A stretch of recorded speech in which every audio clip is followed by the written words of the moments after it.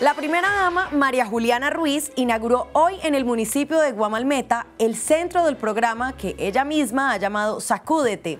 La acompañó su esposo, el presidente Duque.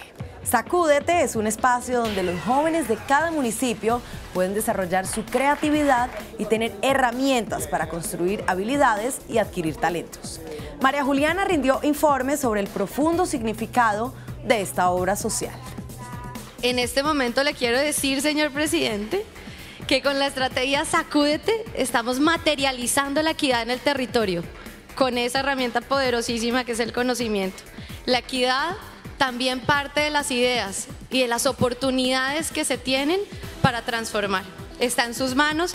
El presidente Duque dijo que la primera dama es su fuente de energía y confesó que por eso busca mantenerla permanentemente a su lado tanto en sus responsabilidades familiares como en las oficiales.